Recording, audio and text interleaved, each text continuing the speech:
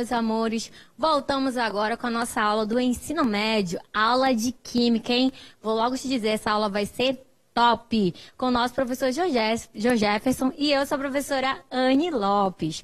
Olha só, lembrando que para você não esquecer de mandar as suas mensagens, mandar suas selfies, mandar suas dúvidas, né? É super importante que você saia sem dúvidas dessa aula hoje, tá bom? Então, não te esquece de mandar as tuas dúvidas, as tuas perguntas pela, pelo nosso WhatsApp, né, que vai aparecer aí na tua telinha. Você também pode assistir a gente ao vivo, nós estamos pela TV Cultura, em 108 municípios, tá doido, é? Mas você também pode assistir a gente através do aplicativo Cultura Rede de Comunicação, que você assiste a aula ao vivo e assiste também as aulas anteriores que você pode ter perdido. Olha aí, não é top?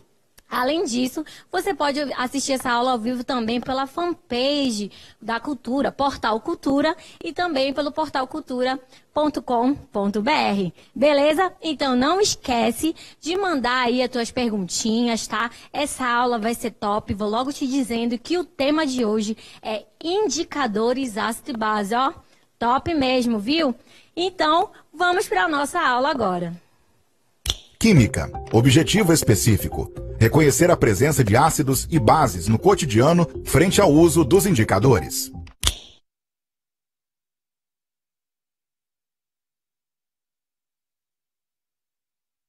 Sou canoeiro, eu sou, vou descendo o rio a remar. Sou canoeiro, eu sou, vou correndo, senão o açaí vai acabar. É, papai, hoje é sexta. E tu sabe, mas para ti que me conhece, meu irmão, tu sabe que o negócio vai ser bacana. Agora, para você que está me vendo aí, meu irmão, do outro lado da tela, eu faço um convite para ti, cara. Chama o teu pai, chama a tua mãe, chama o teu irmão, a tua irmã, dá um tempo lá na Carmine no Tufão e vem pro Culturão. É, papai, dá um tempo lá que agora vai começar a aula show, meu irmão. E essa aula, ela vai ter a ver, como a professora Anne falou agora há pouco, com indicadores ácido e base. E uma coisa bacana para nós é aquilo que você procura trazer o regional, né? Então aí em cima de regional, nada melhor do que na música eu comecei contigo aí falando sobre o quê? Sobre o açaí, né, cara? Esse fruto aí do nosso, do nosso Pará, que se distribui aí no Brasil e no mundo. Então vamos começar essa aula falando desse indicador natural chamado, né, de açaí. Bora para a aula então, meu garoto? Muito bem. Então, estamos aqui frente a essa, a essa cartela.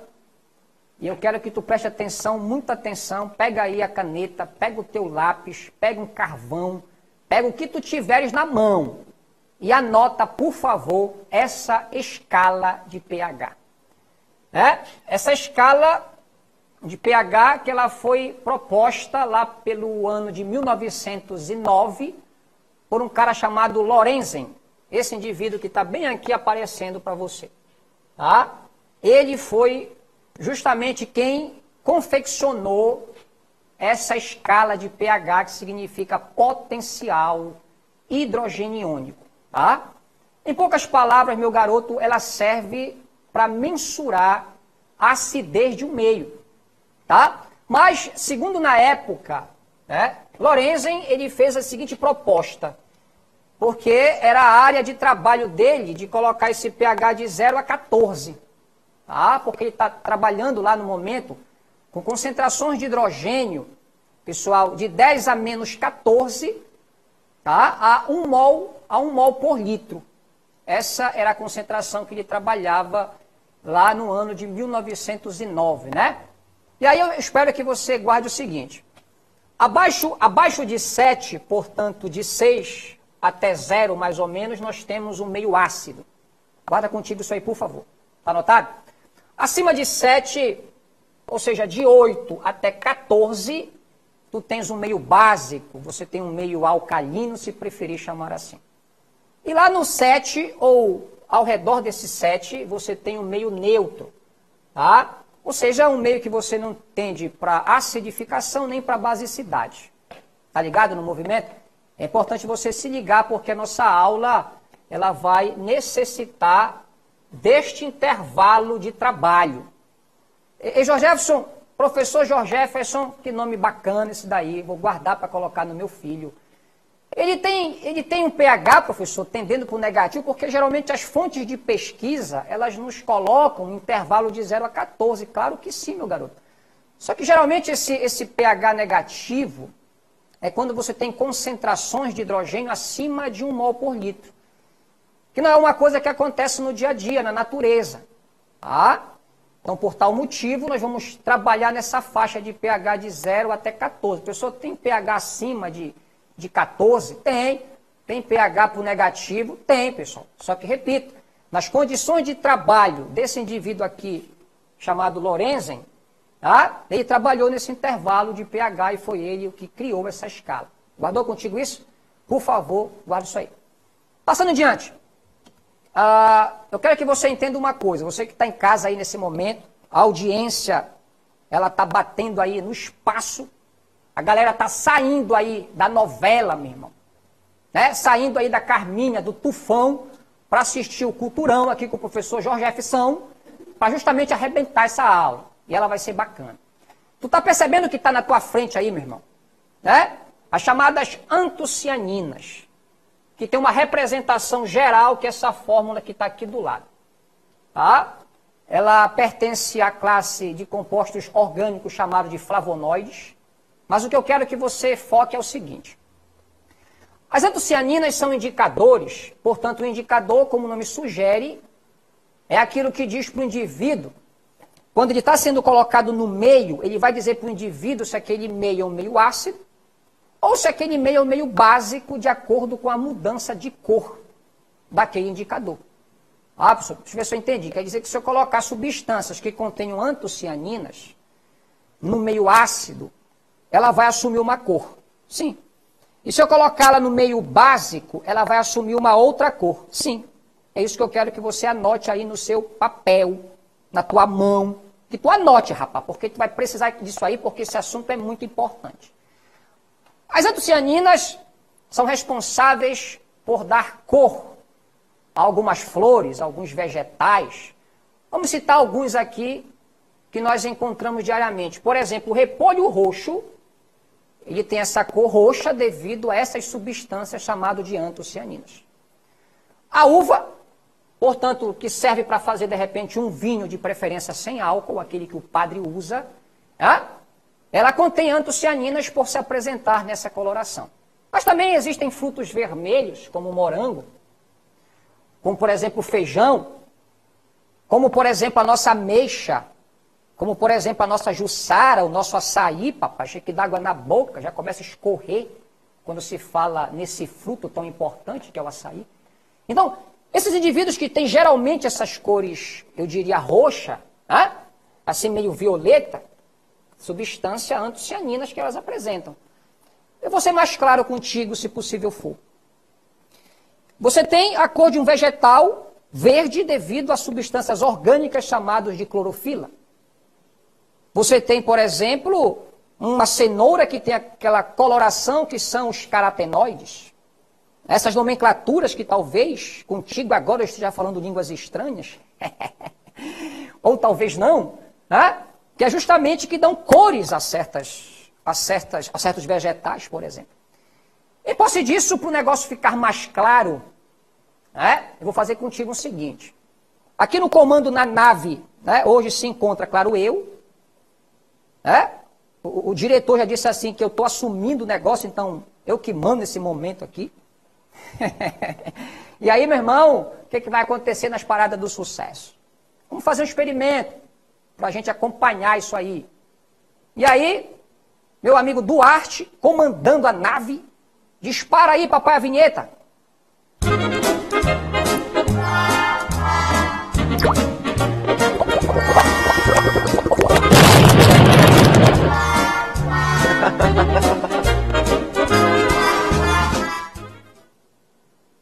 Meu garoto, estamos aqui, papai. Né? Estamos aqui nesse momento sobre a mesa do estúdio. Se encontra aqui o nosso fruto, meu garoto. Olha só, esse precioso, né? Esse precioso que a gente encontra aqui nesse estado do Pará, né, em grande quantidade, que eu sou um amante. Eu não consigo uh, almoçar e muito menos jantar sem a presença do nosso açaí, meu garoto. E de antemão já quero agradecer ao açaí do Joel, né, que foi o patrocínio do açaí do Joel, que me cedeu esse açaí aqui, que é uma papa, meu garoto. Tu sabe o que eu estou falando. Então se liga no movimento. Uh, eu tenho açaí que ele tem essa coloração devido às antocianinas.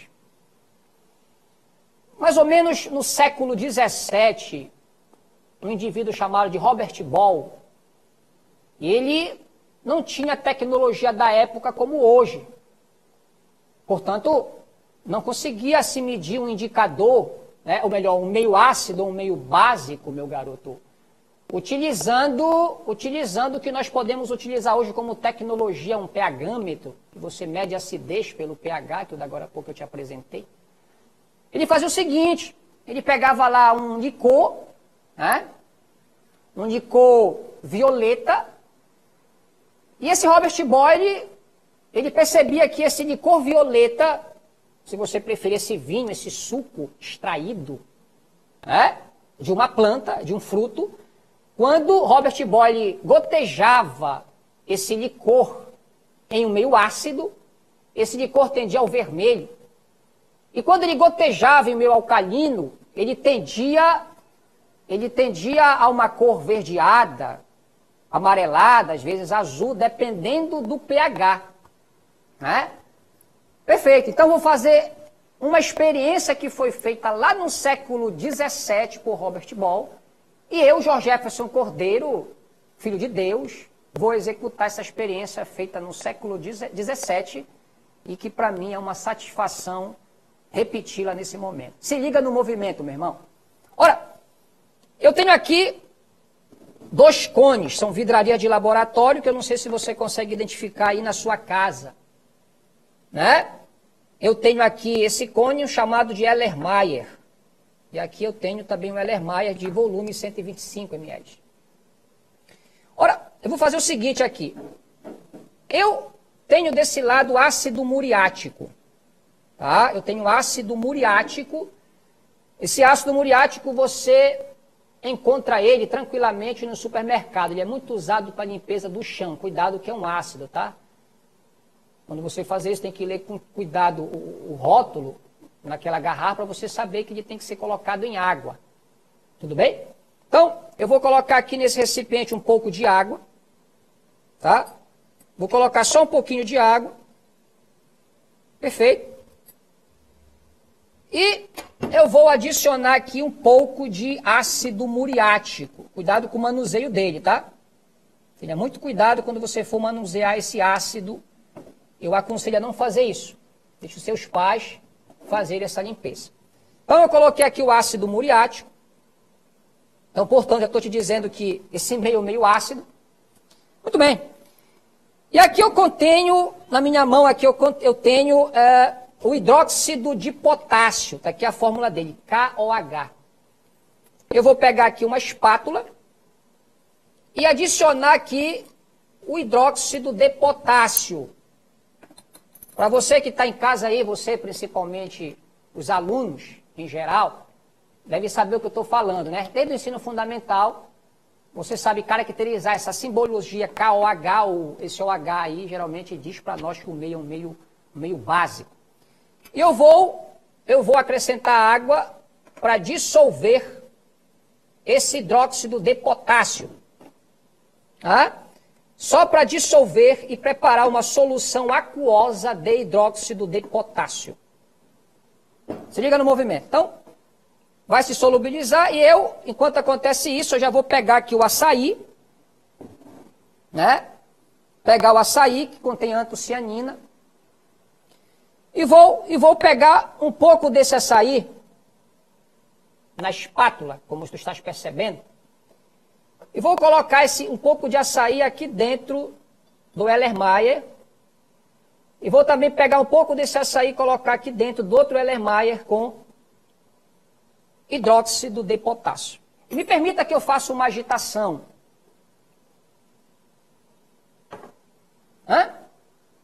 Se o diretor puder dar aquela focada, que eu sei que ele está dando aquela focada. Olha aí, se liga no movimento, meu garoto. Ah, e aí eu vou pegar o outro que o açaí também foi colocado e vou também dar uma agitada. Se liga no movimento. Tá ligado? Ei, tu tá pensando que isso é mágica, meu garoto? Se fosse mágica, eu tava noutra emissora, ganhando dinheiro, meu garoto. Isso aqui é ciência, papai. É, isso aqui é ciência e quem sabe faz ao vivo. E aí, meu garoto, segundo Robert Boyle, lá no século XVII, ele executava isso. E quando você voltar com a gente na interatividade, eu quero que você venha discutindo também com a gente, né? Em relação ao experimento de Robert Boyle, esse pH, será que ele está abaixo de 7, com ácido muriático? Será que esse pH que eu coloquei o açaí aqui no hidróxido de potássio está abaixo de 7 ou acima de 7? Isso é uma discussão que a gente vai depois trabalhar na interatividade. Perfeito? Isso é para você ficar ligado no movimento. Eu vou te fazer um pedido agora. Corre lá na cozinha se tu tem aquele açaí que eu sei que tu tem. Tu não deixa de faltar aí na tua, na tua geladeira, que quando ele azera tu faz mingau e vai tomar. Sabe que aqui a gente não perde nada, a gente não brinca, a gente é paraense, a gente sobrevive com isso aí, meu irmão. Nós somos, somos filhos de Deus, meu garoto. E vamos vencer essa situação aí, pode ter certeza, ainda mais que tem um cara que tu toma açaí. Eu vou pedir uma coisa para ti, vai lá na tua geladeira, pega dois copos de vidro transparente, coloca vinagre num, e coloca, por exemplo, água sanitária no outro. Goteja um pouco de açaí e faz essa agitação, bate uma selfie e dispara para cá, que depois tu vai aparecer fazendo experimento, meu irmão. Eu sei que tu sabes. Perfeito?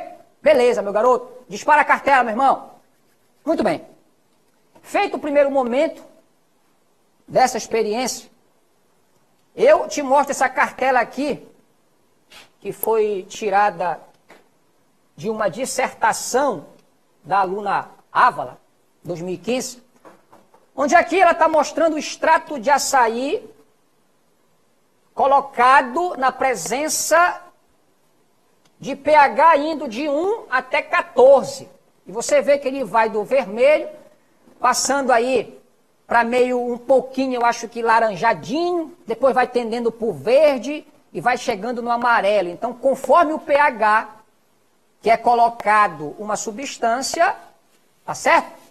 Ela assume, ela assume uma certa, uma certa coloração, só para você entender que aqui nós usamos dois. Nós usamos um que tinha ácido muriático, que fatalmente o pH está em torno de 1, e usamos, por exemplo, outro que continha lá a presença do hidróxido de potássio, que fatalmente vai estar aqui para as extremidades, pessoal, porque é altamente alcalino, né? Então, tu pode fazer esse experimento aí na tua casa, utilizando vinagre ou limão, se você preferir, e você utilizando água sanitária, que eu acho que são produtos que tu tem no teu laboratório.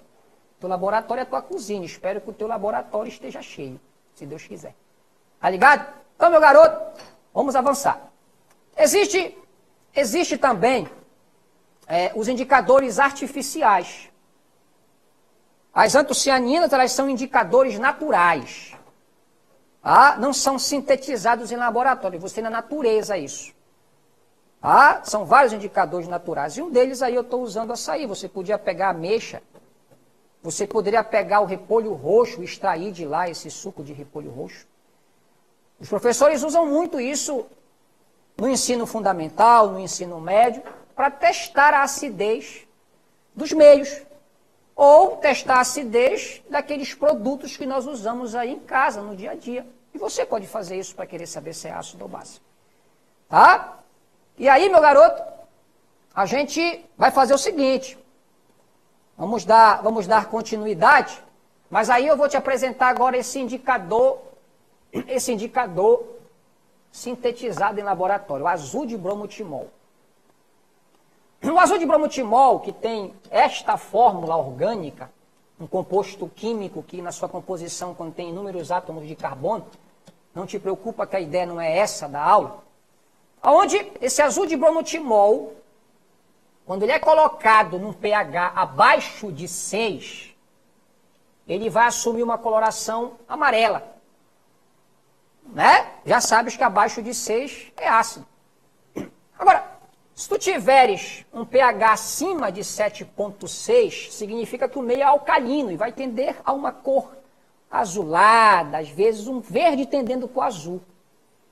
E neste intervalo de 6 a 7,6, ele vai assumir uma cor esverdeada, onde praticamente aqui ele tem uma certa neutralidade.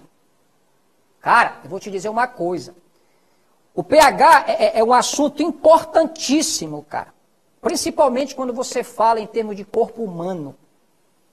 Onde você deve saber, você que está sentado aí, na sua casa, ou deitado, ou em pé, que o pH sanguíneo ele vai de 7,35 a 7,45. E qualquer alteração nesse pH de 0,4, se alterar para baixo ou para cima, isso pode te levar à morte. O nosso corpo ele luta diretamente para manter esse pH nessa faixa. Por isso é aconselhável que quando você tomar água, quando você usar alimentos, que você procure saber se esse alimento tem característica alcalina. Porque quando ele tem característica ácida, meu garoto, é uma luta, há uma luta do nosso corpo para que ele venha voltar a esse pH entre 7,34 em 7,45. Né? E aí, ao invés de ele estar tá defendendo o teu corpo, ele está lutando para manter o pH nessa faixa quando você se alimenta muito de substâncias ácidas.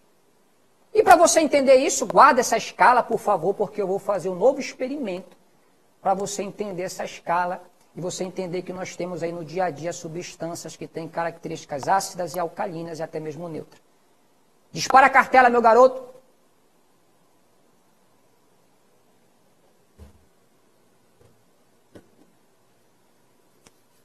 Muito bem. Estamos aqui de novo, sobre a mesa. Eu estou me deparando com frascos, novamente aqui, Ellermeyers, onde eu tenho aqui a água de torneira, que eu peguei lá em casa, aqui nesse eu tenho água de torneira. Nesse outro aqui eu tenho água do poço, que eu fui fazer uma visita, uma visita para minha sogra e trouxe de lá uma água do poço. Um abraço para minha sogra. Água, água da chuva, meu irmão, hoje aqui, toró. E eu dei aquele pique lá fora, peguei um banho, mas eu trouxe essa água. Água da chuva. Tu tá pensando o que é? Brincadeira? É sério. É sério, dá moral aí pra aula. Peguei chuva hoje para trazer essa água para ti, meu irmão, da chuva. E aqui eu vou adicionar uma água mineral, que eu estou chamando de uma água mineral A, e uma água mineral B. Aqui, duas águas minerais, ó. Duas águas minerais, tá aqui. Duas. Não sei se tu tá conseguindo enxergar aí na tua casa, que já até tapei aqui para não fazer comercial.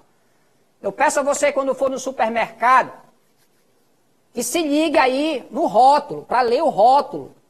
Rótulo aqui atrás, ele está indicando para você propriedades físico-químicas, e uma delas está o pH. Essa água aqui, esse modelo, essa água mineral aqui, ela tem um pH, me permita que eu faça uma leitura se eu conseguir. O negócio é muito miúdo, meu irmão. Mas te vira. 7,16. Eu vou pegar essa água que tem um pH de 7,16. Eu acabei de abrir, vou tomar uma dose. Muito bem. E vou adicionar aqui no recipiente A, água mineral de uma certa marca muito conhecida aqui no nosso estado. Aqui, já estou fechando.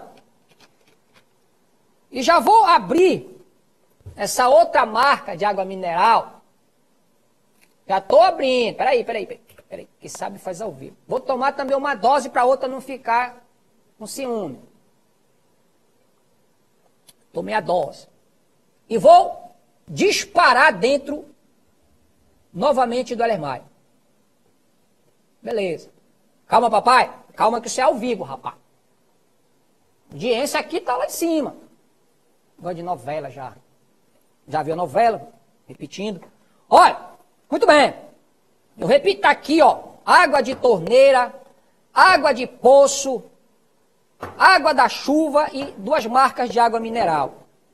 Agora eu tenho aqui um indicador chamado azul de bromotimol, que você agora há pouco, você agora há pouco percebeu a escala de pH que eu coloquei lá. Só para lembrar que abaixo de 6 ele vai tender o amarelo, portanto tem que lembrar se é ácido ou básico.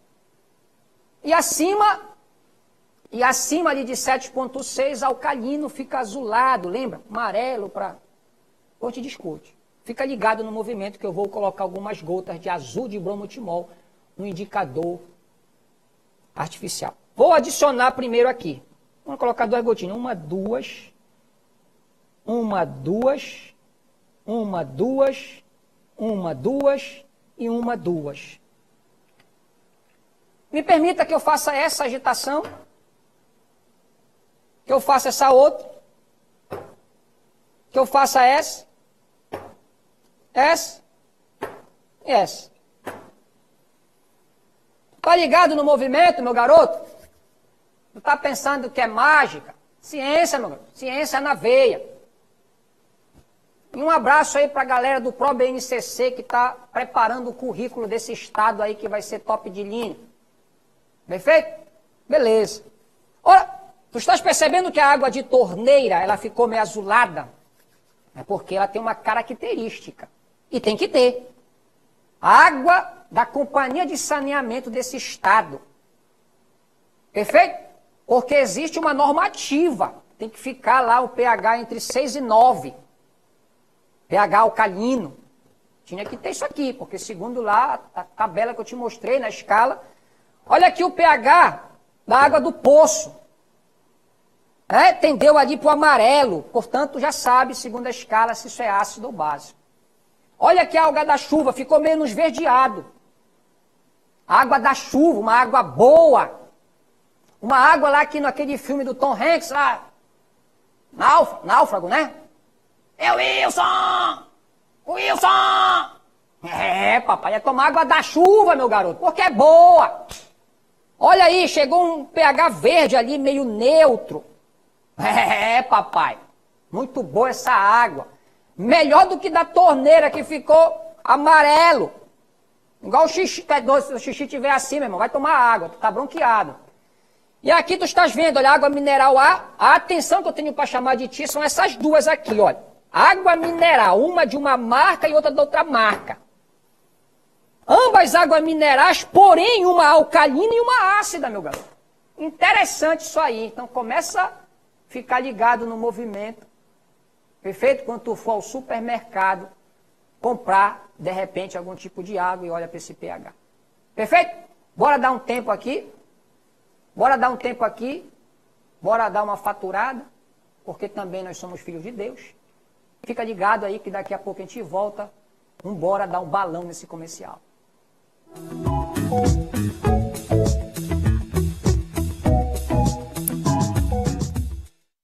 E aí, meu irmão?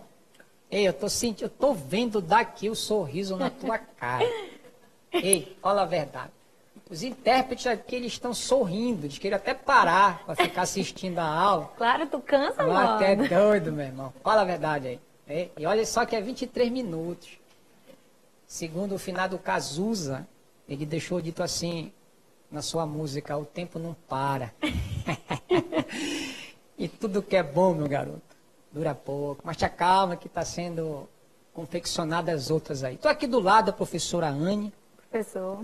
Professora de Química de alto nível, não tenha dúvida disso. Alto mesmo, porque olha só, tem que ficar de ponta de pé aqui, mano. É doido mesmo. O cara, uma humilhação para mim, o cara colocar uma professora dessa aqui do meu lado. Meu irmão, a parada é o seguinte, fica ligado no movimento, que a gente vai iniciar esse momento de interatividade Continuando aqui uma práticazinha bacana, tu conhece? Tu conhece? Tu que está em casa. Tu conhece isso aqui? Essa é top. É. Essa daí, meu irmão, quando eu tava. É do meu tempo, essa. É, saía correndo para assistir, mas eu ficava mordido porque eu ficava assim, meu irmão, não fala. é verdade. Caramba, não fala, meu irmão. Pantera cor-de-rosa. Quem nunca escutou assim? Taran, taran, taran, taran, taran, taran. Um dia, a pantera cor-de-rosa, ela vinha andando no meio da floresta. taran, taran, taran, taran. Mas aí a pantera estava muito triste. Triste porque ela não apresentava cor nenhuma. Mas a música vinha de longe. Porque o som é uma onda que se propaga pelo meio. Toma, tia. E quando chegava lá no ouvido da pantera, ela ficava meio mufina escutando, mas aí ela queria mudar de cor. E chegou um certo momento que ela conseguiu se encontrar com um saco plástico. Bora lá ver que a professora Anne vai mostrar para vocês a manobra. Professora Anne, posso abrir o saco? Literalmente abrir o saco. Bem devagarzinho. E devagar. Você vai pegar a pantera cor-de-rosa. E eu quero que o meu diretor dispare a câmera pro saco. Que a pantera vai entrar. Pantera tá entrando no saco devagar. Bora ver essa pessoa. Olha, rapaz, eu tô vendo uma patinha já rosa. Olha aí a habilidade professora se batendo tudo com o saco, mas calma aqui. Calma aqui, ao vivo, meu garoto. E a pantera entrando. A pantera começou a sorrir. Tss, Calma, Solane, calma que é ao vivo, meu garoto. Tá chegando. Ei, papai, chama tua mãe e teu pai daí.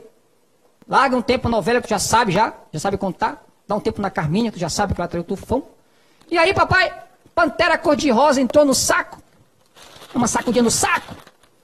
Vê se tu consegue observar que a pantera agora sim ficou cor-de-rosa. Olha lá, pantera cor-de-rosa. Rapaz, eu vou te falar uma coisa. Eu queria ter um professor desse de química na minha época. É doido, meu irmão. Olha aí, pantera ficou rosa, meu irmão. Pessoal, mas aí como é que ela ficou roda do saco aí? Qual é a onda? Que mistério é esse? É, papai. mágica, professor? Mágica, é ciência. E muita. Deixa eu te contar rápido aqui uma história. Existe um outro indicador chamado de fenolfitaleína. Como é que é o nome, professor? Te come isso? É doido. Fenolfitaleína, meu garoto, é um indicador muito usado nos laboratórios de química. Até mesmo do ensino médio, muito usado. É um indicador que, quando ele está na presença de um meio ácido, ele é incolor. Mas quando ele está em presença de um meio básico, ele fica assim, rosa, como ficou a pantera, professora. Exatamente. Senhora, a senhora pode devagar tirar essa pantera do saco, por favor? Sim. Eu estou vendo que a senhora tem uma habilidade muito grande de abrir e fechar esse saco. Ó, vai lá, vai lá devagar, tirando a pantera. Na moral. Olha lá a pantera saindo do saco. Pode tirar, professora. Pode tirar. Mostra aí pra galera aí pra frente. Ficou até com uma patinha lá. Olha aquela patinha lá, tá mais rosa, Sorani. Mas não esquente a cabeça não, que com o passar do tempo, se a pantera ficar fora do saco, Sorani, ela começa a perder a sua cor. Sim. Já dá pra perceber. É, já começa a perceber que a cozinha da pantera já começa já começa a sair, meu garoto. O diretor já está aqui, já até passando já o, o tablet, meu irmão. Já vou passar para a mão da professora Anne, que Deixa ela comigo. domina a tecnologia, não tenho dúvida disso. Perfeito? Então, galera, isso aí é mais uma uma aula, né? Para você entender que essa aula aí dessa parceria da TV Cultura com a Secretaria de Educação desse estado, né? Eu já vou, já está trabalhando aqui, trabalhando para te dar uma aula show aí na tua residência nesse momento aí que é difícil para todo esse país, mas que a gente vai sobreviver, então por isso tem que rolar também um entretenimento. E a ideia maior dessa aula é essa, cara, te distrair aí, fazer tu sorrir um pouquinho, que está faltando esse sorriso, né? E aí a gente vai agora começar a tua interatividade aqui com a professora Anne presente. Já temos muitas perguntas, hein? Continue mandando aí todas as suas dúvidas que a gente vai responder já já. Já podemos então começar? Pode arrochar. Então vamos lá, professor. Professor. A gente tem uma pergunta aqui da Ana Cristina do Marajó. Olha só, beijão pessoal do Marajó, comunidade de Caldeirão. Ela pergunta: o açaí faz mal com outras frutas ácidas, tipo lima ou laranja, professor? Carolina. É bem comum, né? Carolina, dela é gente- Carolina, né? É Ana Cristina. Ana, Cris- Ana Cristina do Marajó. Eu vou te dizer uma coisa, faz mal se tu não tomar açaí. Ei, pessoal, eu lembro que quando a minha avó, que Deus a tenha, lá no município de Abaetetuba, na verdade um distrito de Abaetetuba chamado Vila de Beja, que é de lá que eu sou, Meu irmão, se o cara fosse tomar na hora do almoço um açaí, ela logo alertava. Olha, É verdade. é, comendo limão aí, o cavalo mordeu tua cabeça. É verdade. Vai tomar açaí daqui a pouco. Tá chupando laranja. Quer É, morrer? é, quer- vai morrer. Vai morrer. é verdade. pá, a vovó dava esse papo, meu irmão. A vovó, quando falava isso, meu irmão, era uma reza. Não tinha como. Ficava muito mordido, mas eu não queria morrer. Eu era uma criança, tu é doido, eu não quero morrer ainda. Como é que eu morrer já? Ele não faz mal é nada, rapaz. Não- é isso que eu acabei de explicar pra você. Se você colocar algumas gotas de limão no açaí, você vai que- ver que ele tende ao vermelho. Sim. Por causa desse limão que é ácido, e essas antocianinas em meio ácido tem esse vermelho. Meu irmão, no, no, no interior, no interior, eu vou dizer uma coisa pra ti. Na verdade, no interior não, me desculpe, porque eu tô viajando aqui, que o diretor me atrapalhou aqui. é, meu irmão, ao vivo é bacana, mamãe. Ei, no, no país, do, no Brasil, professor Aninho, fora do Brasil, o pessoal mistura açaí Tá aí, é doido. doidado. Isso é pecado, gente. Mistura açaí com fruta e o Granola. caramba. Ei, pessoal, não faz mal não. Não faz Tá? mal. Mas não é bom. É, claro, que tem que tomar, por que quer misturar açaí já? Sabe que o paraense, ele gosta daquele açaizão bacana, de preferência sem açúcar, dispara aquelas farinhas baguda de Bragança, Aí e meu irmão, tem a peixe rocha, frito. ó, aquele peixe, aquele charque bacana. Pois é, professor Anny, disparei. Bom, professor, a gente tem muitas perguntas, então vamos lá. A gente tem a pergunta da Pamela, da escola Manuel Saturnino, de Ananindeu. Olha só, Ananindeu é ligada aí com a gente ao vivo. Quais são os outros, eh, os outros materiais básicos e ácidos que encontramos na nossa casa, professor? Olha, pessoal, deixa eu dizer uma coisa pra ti. Meu irmão, na tua casa, primeiro eu vou dizer assim, eu espero que tu encontre esse material na tua casa.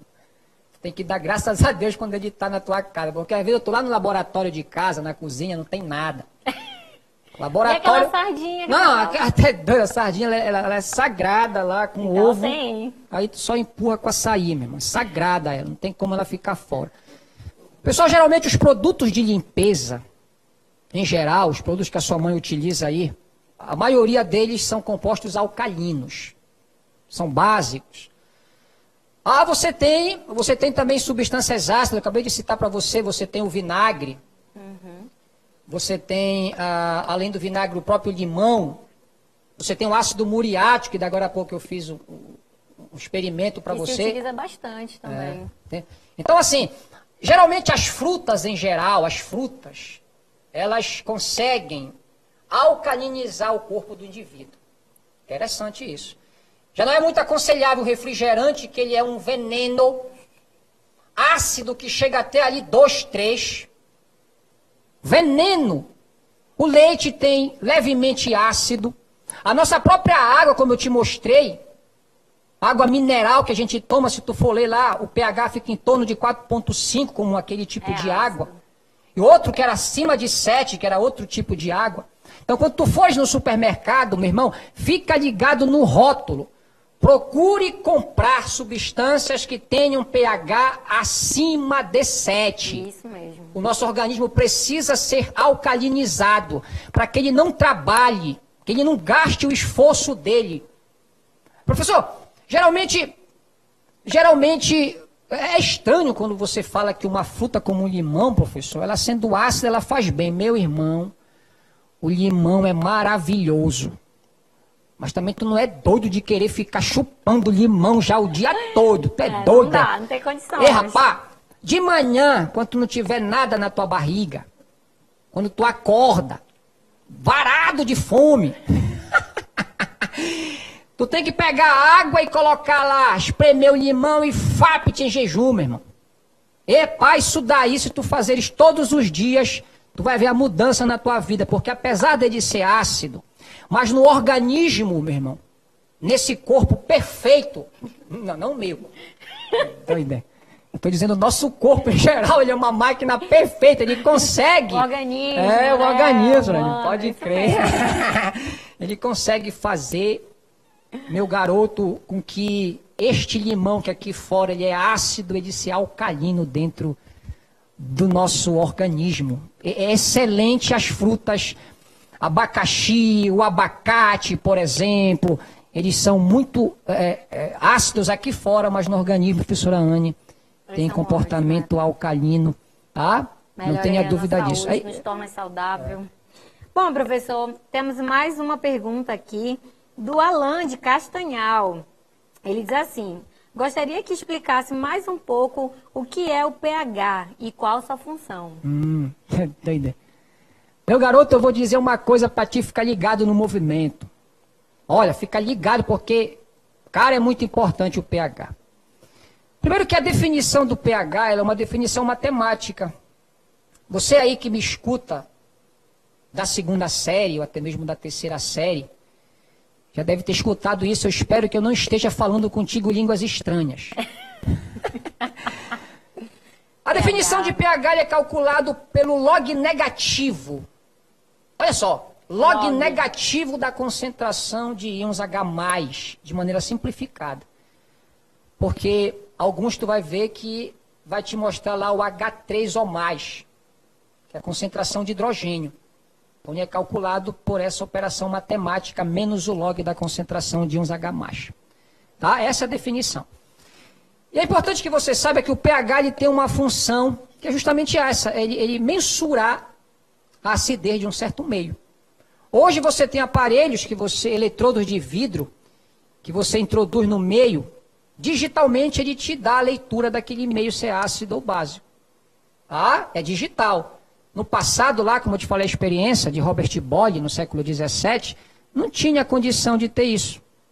Eles conseguiam perceber se o meio era ácido ou básico justamente pela mudança de cor de algumas substâncias, como foi mostrado. Então, rapidamente, eu vou dizer para ti o seguinte, que essa, essa função principal no organismo do indivíduo é o seguinte, professora O nosso sangue ele tem um pH na faixa de 7,35 a 7,45. Sim. Tem que manter essa faixa. Tá? Se a gente conseguir manter isso daí, é excelente. Ora, porque se você tem um pH fugindo dessa faixa, por exemplo, se o intervalo para cima for de 0,4, portanto, de 7,45 e lá para 7,95, hum, pode ter morte, tu cai no que nós chamamos de alcalose. Exato. Então tem uma grande diferença aí. É, sim. Professor, tem várias perguntas hum, aqui, a galera está é, interagindo deixa, mesmo, deixa, tá top. Dispara, viu? porque só uma pergunta dessa eu posso ficar a aula todinha respondendo. Não, bora, bora, bora, bora, ser, bora ser breve. Olha, professor, tem uma pergunta aqui. Pergunta, ah, todas as plantas possuem antocianinas? É o Pedro Guilherme, da escola Anísio Teixeira, de Marabá. A galera de Marabá aí ligado na gente. É, pode crer. Que bom, a gente fica muito feliz com isso. E aí, professor? Ora, todas cara, as plantas não, não, não, não, não, não, não. Já pensou todas as plantas possuírem? Tu ia ter Mas só. mudar de cor ah, direto. Tu ia, tu ia ter só vermelho, só roxo, só, só verde. Então, pessoal, não, não é todas as plantas, não. Geralmente, não, né, acho que tem a coloração vermelhada, mas não significa dizer também que ela é vermelha que ela tem antocianina, meu garoto. Exato, exato. Isso tem que ser feito teste em laboratório, fazer extração, colocar em espectrômetros de massa, que são aparelhos usados em universidade, infravermelho, para você detectar com a substância. Mas não é toda, não. Lembra que eu falei na aula que o verde de uma planta, você lembra a clorofila? Esse é bem comum para nós, né? Os beta-carotenos, quando você tem lá na, na, na, cenoura, que são os carotenoides, né? São, são substâncias orgânicas que são responsáveis. Então não são todas não, Sorinha. Exato. Olha, tem a Adrine Oliveira, do Colégio Ulisses Guimarães, aqui do bairro do Marco de Belém, olha só, e perguntou, professor, você poderia explicar novamente como identifico substâncias ácidas ou alcalinas através das cores? Vai depender muito do tipo de indicador que você está usando, né, professor? Como o professor falou, a gente tem os indicadores naturais, como ele deu os exemplos, e os indicadores artificiais. Isso vai depender, a cor, a coloração que a gente vai obter, depende muito desses tipos de indicador, certo, professor? Aí conhece. Aí conhece. um pouquinho. Professora de Química, ela só está aqui me auxiliando. Ela ia ter, a aula dela é dia 27, mas faz 28. parte da. 28, né, professora? Era. Aí parece que vai rolar aí umas férias. A professora, só, só, olha, Ulisses Guimarães. Do Marco aqui. Ulisses é Guimarães. Adrine Oliveira. É, é, Adrine, não sei se você é aluna do professor Arilson. Professor Arilson, um abraço se estiver assistindo a TV Cultura. Ele é professor do Ulisses Guimarães e está fazendo parte aí da banca do ProBNCC, redatores, né? Fazer o currículo desse estado. É isso que a professora Anne falou mesmo. Tá? A professora Anne ela foi, ela foi perfeita em dizer o seguinte: depende do indicador. indicador natural, indicador artificial, mas isso vai depender, mas não te esqueça de uma coisa que é essencial. É que essa mudança de cor ela vai acontecer conforme o pH do meio. Ela pode ter inúmeras cores. Viu na aula lá como ficou várias cores para o açaí? Porque conforme um valor de pH de 0 até 14, você viu que assumiu uma coloração. Vamos lá, professor. Bom, gente, olha só. Eu acho importante essa dúvida aqui do Wagner Viegas, do Monte, do Monte da Escola Tancredo Neves, tá? Neves. É, ele falou assim, professor, então a água azul é básica e a água amarela é ácida. Ele está falando do experimento que a gente viu agora há pouco que o professor fez e seria, seria muito bom a gente conseguir esclarecer mais um pouco sobre isso, né, professor? Sorani, uh, dizer que o moleque tá ligado no movimento. Tá, tá Ligado certo. no movimento. Tá ligado, gostou. Vou dizer uma coisa pra ti, meu irmão. Eu volto a repetir que nós temos que evitar as dizer, quando eu falo evitar, irmão, não é como é que eu vou evitar. Mas você tem que ter um equilíbrio. Exato. Tem que manter Tudo um é feito de equilíbrio. equilíbrio, É, né, equilíbrio, professor? papai. Nosso organismo, né, precisa ter a homeostase, que é o equilíbrio do organismo, né? Não existe esse negócio de, ah, não pode comer, não pode comer isso, não pode comer aquilo, mas na verdade você tem que ter o equilíbrio na sua alimentação. É isso que a gente busca para a gente conseguir ficar saudável, né? É bem- Então, cara, assim, ó, só para você, você ter uma ideia, é, muitos alimentos que, que nós começamos de manhã logo pelo café que é ácido, o leite levemente ácido, o pão ácido. Meu irmão, se tu for tirar isso, porque geralmente os produtos industrializados, pessoal, embutidos, eles são ácidos. E os naturais, tu acha que, que Deus vai te dar uma coisa ruim? Deus vai te dar coisa bacana, meu irmão. Deus é pai. Tá entendendo? Tem que estar ligado no movimento. Geralmente o que é natural, cara, o que é natural, ele, ele tem essa característica, meu irmão, essa característica alcalina, tá? E os- esses produtos aí que são que são embutidos, tá? Ou até mesmo carne, essas gorduras de boi, se tu não sabes, tá?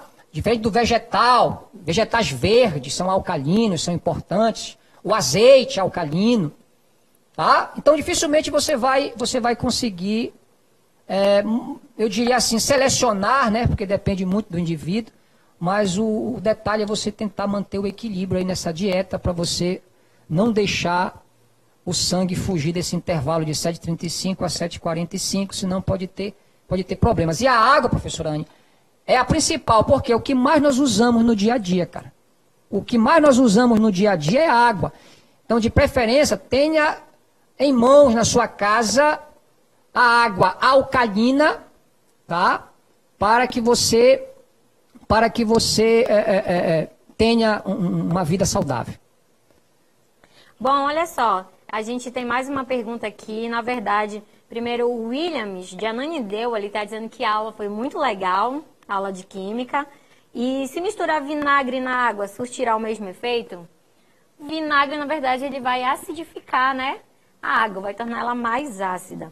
Além disso, professor, tem o André aqui de Belém mesmo. Ele vem elogiar a aula, que foi simplesmente incrível, viu? Palavras do André. De que forma esse assunto cai no Enem? E qual o pH ideal eh, da água pra, que é ideal para nós, para nosso organismo? Pessoal, ó, é, eu logo te digo uma coisa que este objeto de conhecimento, ele cai no Enem como cai prova em Belém. Tô até rimando, meu irmão. Ele, vou repetir porque eu gostei. Ele cai no Enem como cai água em Belém. É. Meu irmão, é clássico uma questão de potencial de hidrogênio, o potencial hidrogeniônico na tua prova, essa prova externa, essa avaliação externa chamada de Exame Nacional do Ensino Médio. Agora, tem, geralmente a prova do Enem, ela, ela te traz usando a parte de cálculo, que é calculado pelo log negativo da concentração de hidrogênio. Ou quando não, ele quer saber, por exemplo, quando você aumenta o pH de uma unidade, ou quando você diminui o pH de uma unidade, o que acontece com a acidez? Será que ela aumenta de 10 vezes? Será que ela aumenta de 100 vezes? Será que ela aumenta de mil vezes? Porque se você, se você sobe o pH, você está com certeza caindo numa faixa de alcalinidade, porque quando você desce, o- desce o pH, você tem um meio mais ácido. Então, geralmente é assim, é importante eu saber que abaixo de 7 ele é ácido, que acima de 7 ele é alcalino, no meio 7 ele é neutro, e às vezes ele coloca uma tabela para te fazer essa relação e de repente fazer um cálculo pelo log. E aí você fazer uma análise de tabela para ver se é ácido, se é básico, ou quando não, para fazer tratamento de solo, tratamento de água, para neutralizar ah, esses meios aí, professor. Olha aí, professor, a gente tem mais uma pergunta agora da Júlia, de Belém. Ela pergunta assim: é, se o pH da água mineral que eu utilizo na minha casa é o mais indicado, né? E ela olhou o rótulo e ela disse que o pH está entre 4,4 e 5,4. É, na verdade, eu nem, nem, nem, respondi totalmente a pergunta passada, que já vou aproveitar com essa. Pessoal, o, o pH, o pH ideal, porque é assim, é, existem, existem normas de potabilidade, por exemplo, da água. Existem normas, você tem que obedecer. Toda vez que você faz uma análise no laboratório da água, é, existem normas para você ter esse grau de potabilidade. E essa potabilidade ela é colocada nessas normas, nessas portarias, que o pH da água para consumo ela tem que estar no intervalo de 6 a 9. Então, quanto, quanto assim, quando você pegar água na faixa do 7 em diante, essas são melhores para te tomar. Exato. 7 em diante. Geralmente a nossa água aqui do estado do Pará, inclusive a Universidade Federal desse estado, ela recentemente, pelos professores e alunos dali do curso de Química Analítica, se eu não me engano pela professora Simone, fizeram uma análise das águas do nosso estado e detectaram que as nossas águas, no geral, são águas ácidas. Pode pegar os rótulos que tu vai ver que a grande totalidade, com raras exceções, o pH está acima de 7. Está abaixo de 7, portanto, não são águas que são aconselháveis a serem tomadas, professora Aninha. O que está super associado ao índice que aqui no Pará a gente tem de câncer de estômago, né, professor? Exatamente Beleza, por isso. É isso mesmo. Mas nós temos aqui mais perguntas, bombando. A Ana, do Icuí Guajará, ela pergunta, se a água, como fez-se na mistura, ficar amarelada, quer dizer que ela faz mal ao organismo? Ó, oh, na verdade, se tu imaginares que desde quando você nasce, que o teu pai coloca com a tua mãe a chuquinha na tua boca, que geralmente, se possível for, nós utilizamos água mineral. Dentro das possibilidades. Infelizmente, eu digo essa palavra, Sônia, infelizmente, porque nós tínhamos no passado o chamado pote. Sim. Cara, vou dizer uma coisa para ti. Se tu tem o teu pote na tua frente, dá um beijo nele. Dá um beijo nesse pote aí feito de argila, um produto natural, que se mantém a água numa temperatura bacana para o cara beber e mais, e mais. Ele consegue filtrar. Além de dar uma leve alcalinidade, ela consegue reter o cloro. O cloro, meu irmão, tu sabe disso. Tu toma banho no chuveiro da água da companhia de saneamento nesse estado, meu irmão, o cabelo sai duro igual um pau. Tu mergulha numa piscina, meu irmão, teu cabelo sai duro igual o meu cotovelo. Meu garoto, o cloro também. O cara às vezes não se preocupa com o cloro. É Apesar é de ser um bactericida, Anne, mas em contato com a tua pele, com o teu cabelo, ah, meu irmão. Acaba. Ele, ele, deixa, ele deixa mais seco do que eu. e olha. Então, o amarelo, ele tende pro ácido, então tu, a gente toma essa água, cara, desde criança. É, gente. A gente tem que procurar fazer uma mudança e tentar se alimentar de coisas alcalinas. É bem verdade que no início o teu corpo vai sentir. Ele sente no início, porque ele está tão acostumado, é. Anny, com esse meio ácido ruim, que quando tu vai alcalinizar, às vezes dá dor de cabeça. Sim, com certeza. Dá uma fraqueza, porque ele sente essa mudança. Mas procure fazer isso. Procure quando é o supermercado, na hora de comprar água, quando for comprar, ver se você consegue, se não tem meios para você É super importante, gente, a gente lê os rótulos, né? É, são informações, assim, do dia a dia, mas que muita gente não faz, né? De ver validade, ver data de fabricação e ler o rótulo, né? Quando você vai comprar uma água mineral, é importante você comparar aí o rótulo, o pH, o índice de pH de cada água para você tentar ver a que é menos pior, digamos assim, a que, né, que, que vai te trazer menos danos né, ao teu organismo. Professor, a gente tem, ainda tem tempo aí para mais uma pergunta. Vai o João Vitor. Do selfie, não? Dá, dá tempo. Acho que ainda temos tempo Vai, aí. vai, vai. quem manda é o, o diretor Vamos que lá. manda, rapaz. Tô falando aqui no meu ouvido que a audiência tá lá no alto. Já até passou a audiência da, da novela. Ei, menino, vamos lá. Continua aí. João Vitor, João Vitor, João Santarém, rapaz, ele falou o seguinte. Em relação ao pH das águas minerais mencionadas nos experimentos, existe alguma diferença entre o pH da água com gás e da água Ah. sem gás, professor?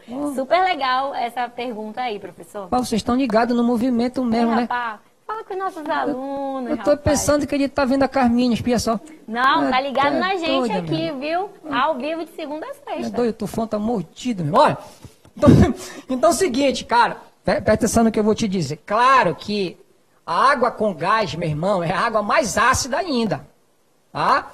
Geralmente essa água com gás, ela contém dióxido de carbono. Esse gás carbônico que nós conhecemos na presença de água, ele acidifica, ele transforma no ácido. ácido carbônico Uhum, ele é bem e estável, fatalmente né? ele dá uma queda aí no, no pH e é sim ácido água com gás. É mais ácida do que a água É, sem muitas gás. das vezes sim. Né? É isso mesmo. Então, agora sim, professor Ô, Chacal tá, agoniado, hein? Será que alguém fez um experimento? Ei, vou te dar um spoiler. Acho que sim. Olha, Vamos papai, a minha esposa com a minha filha. Ô, papai, tô Érica. ligado, Meu irmão. Um abraço pra minha esposa aí, papai. Com Olha lá, olha lá, dando moral pra esse maridão. Ligada aí na gente. Que mais? Papai, boa. Olha aí o Eduardo Renner de Tá Marabá, tá eu ligado aí Fiquei alegre, muito é doido, meu irmão. Tô preocupado que a mulher tá assistindo aula. Cadmiel e a sua mãe Leiliane fizeram o experimento. Olha, galera! Que legal, eles daqui de Belém. Olha lá o experimento que bom, papai. Esse moleque aí que é do Brasil. Pô, amanhã tem jogo, domingo jogo do Brasil de novo, moleque. Olha a Clenilda de. Belém, ligada aí com, com o caderninho dela, né? Anotando tudo. Muito bem, Clenilda. Ô, Clenilda, parabéns. show de bola, meu garoto. E aí, Anny, o que, é que tu me diz? Digo que foi só sucesso, meu bem. Foi tudo de bom nessa aula. E a gente mostrou muito bem como é que isso cai no Enem, como é super importante, não só para o ensino médio, também a gente conhecer isso para nossa vida, para o nosso dia a dia. Tá bom, gente? Bom, muito obrigada aí pela, por toda a audiência, por todas as dúvidas e selfies. A gente fica muito feliz, professor. Então, obrigada, professor, essa aula maravilhosa. Então, até a próxima, gente. Beijão e tchau, tchau.